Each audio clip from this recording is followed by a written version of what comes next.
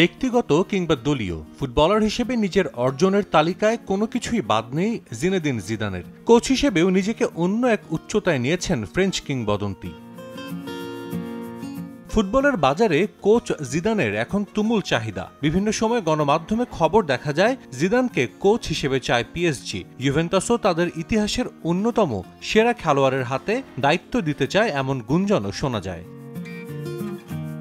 তবে আপাতত ফুটবল থেকে নিজেকে দূরেই রেখেছেন জিদান। তাই বলে ফুটবল ছেড়ে দেননি। অবসর সময়টা পার করছেন খেলার সঙ্গেই, তবে সেটা ভিন্ন ডিসিপ্লিনে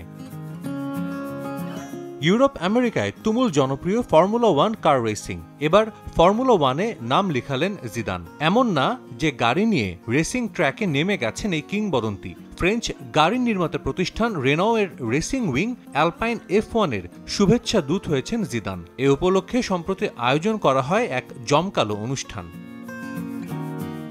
ফ্রান্সের ইতিহাসে সেরা ফুটবলারকে কাছ থেকে দেখেছেন। ছিলেন একই মঞ্চে। Alpine F one racer Pierre Gasly, জিদানকে কাছ থেকে দেখে উচ্ছ্বসিত। Think you can compare Zidane with the god, right?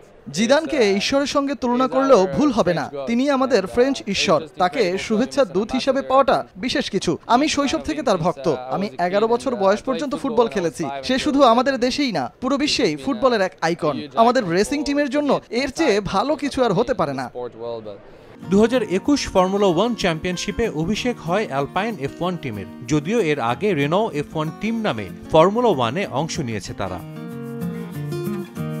Sajid মুস্তাহিদ সময় সংবাদ।